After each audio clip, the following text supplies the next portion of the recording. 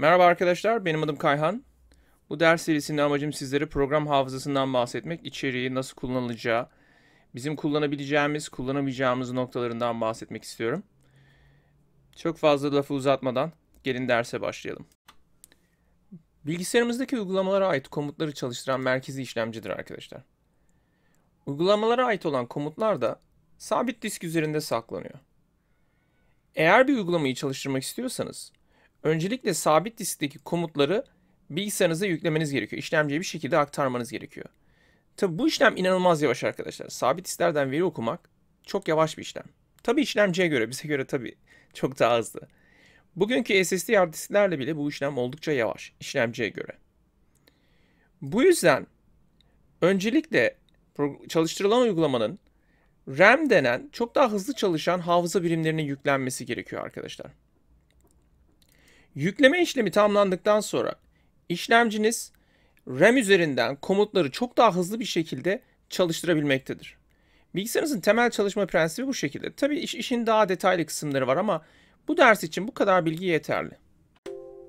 Şimdi arkadaşlar uygulamaların çalıştırılmasını kullanıcı ve bilgisayar açısından görselleştirmeye çalışacağım. Aynı anda nasıl oluyor bu işlem? Onu göstermeye çalışacağım. Öncelikle bir bilgisayarımız var. Bilgisayarımız üzerine bir işletim sistemi kurulmuş. Ve masa üstünde belirli simgelerimiz var. Uygulamamıza ait simgeler var.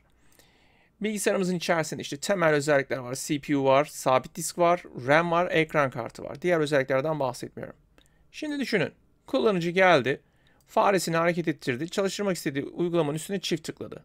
Bu durumda arkadaşlar işletim sisteminiz tabi kontrol onda işlemcinizi kullanarak sabit diske bir mesaj yolluyor. Bu mesaj uygulamaya ait olan bilgilerin yani komutların veya diğer verilerin merkezi hafızaya yani RAM'e yüklenmesine sebep oluyor.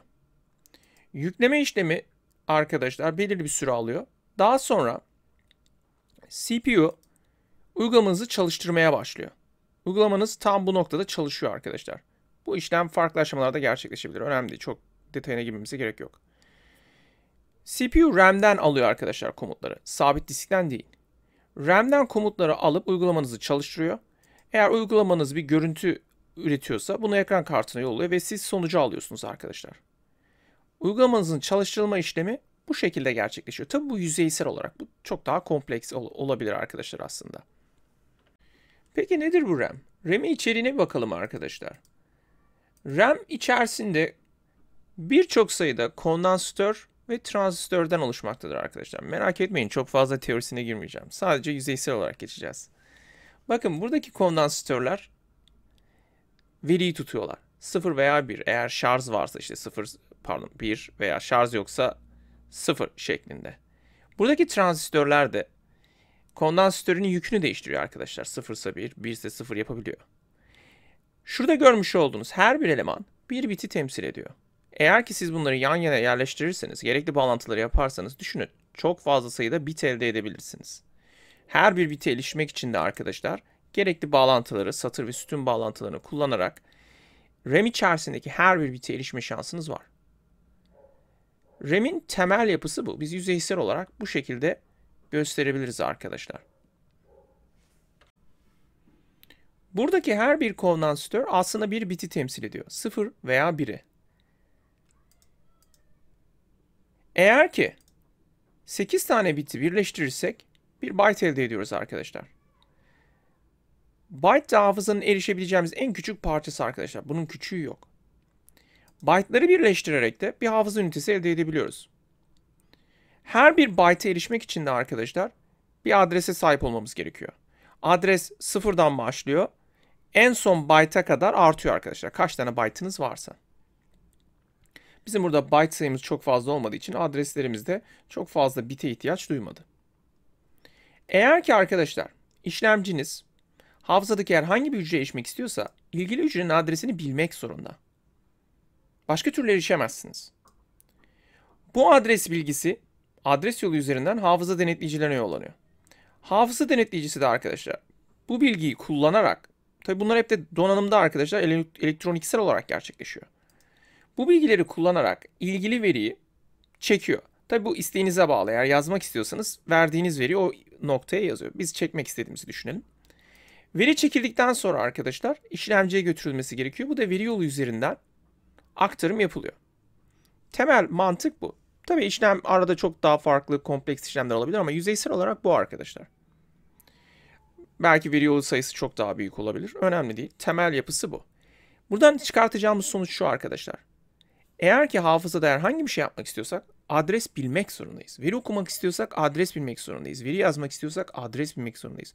Komut çalıştırmak için bile adres bilmemiz gerekiyor. Makine kodu içerisinde hep adreslerle işlem yapıyorsunuz.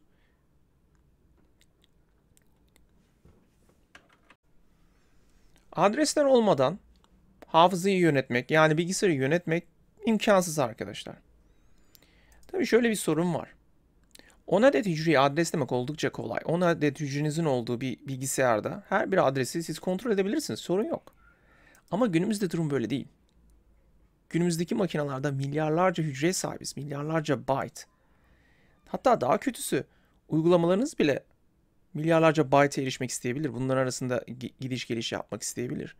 Böylesi bir rakam korkunç bir insan için arkadaşlar. Bir insanın böyle rakamlarla başa çıkması neredeyse imkansız. Tabii Malkoçoğlu için durum değişebilir. Onun için problem yok. Ama bizim gibi sıradan insanlar için çok büyük bir problem. Bizim bir çözüme, bir yardımcıya ihtiyacımız var. İşte burada derleyici bizim yardımımıza koşuyor arkadaşlar. Derleyiciler hafıza hücrelerine isim vermemizi sağlıyorlar arkadaşlar. Hatırlarsanız biz buna değişken diyorduk. Adlandırma isteği tabi dilden dile göre değişiyor. Ama temel mantık aynı arkadaşlar. Hafıza hücrelerini temsil eden, onlara erişmemiz için kullanacağımız büyük rakamlar yerine biz bize yakın olan isimler kullanabiliriz, kelimeler kullanabiliriz. Bu sayede programımızı çok daha kolay kontrol edebiliriz arkadaşlar. Değişkenlerin temel amacı budur. Aslında hafıza hücrelerine erişmemiz için bir arayüzdür derleyici ile bizim aramızda. Şimdi de arkadaşlar derleyici ile program arasındaki alışverişe bir göz atalım. Programcı kodu yazarken bir değişken tanımladığında bu istek derleyici tarafından alınıyor. Derleyici değişkenimizin temsil edeceği hafıza alanını ayarlıyor ve bu ikisi arasındaki bağlantıyı kuruyor. Arkasında bir tablo tutuyor. Hangi değişkenin hangi hafızayı temsil ettiğini derleyici arka planda biliyor. Derleyiciyi bir büyücüyle temsil ettim arkadaşlar. Şu an için e, sizlere büyücüden farksız derleyici. Arka planda ne iş yaptığını bilmiyorsunuz. Bazı yaptığı işleri ben de bilmiyorum açıkçası. Programcı olarak adresi bilmek zorunda değiliz arkadaşlar. Değişkenin adresini bilmek durumunda değiliz. Değişken ismini kullandığımız an derleyici gerekli makine kodunu derleme aşamasında yerleştiriyor arkadaşlar. Bizim üstümüzden inanılmaz bir yük alıyor. Eğer ki bu değişkene bir değer atamak istersek Derleyici değişkenin nereyi temsil ettiğini bildiği için bizim değerimizi alıyor ve ilgili alana yazdıracak makine kodunu yazıyor arkadaşlar. Oluşturuyor diyelim.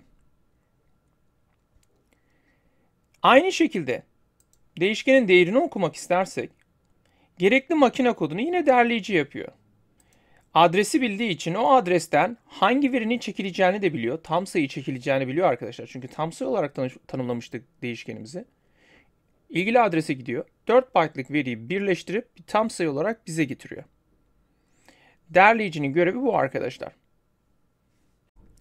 Dersimizin ilk bölümü için bu kadar bilgi yeterli arkadaşlar. RAM'e neden ihtiyaç duyduğumuzdan bahsettim. RAM'in temel birimlerinden bahsettim. Bit'ten ve byte'tan. Byte'ları erişmek için adres kullanmamız gerektiğini gösterdim. Sebebinden bahsettim. Ayrıca derleyicinin byte'lara erişmek için bize nasıl yardımcı olacağından da bahsettim. Bir sonraki derste arkadaşlar uygulamalarımızın hafıza birimlerinden bahsedeceğim.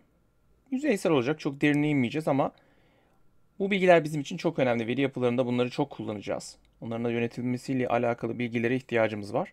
Neyse çok konuşmayayım. Bir sonraki derste görüşürüz.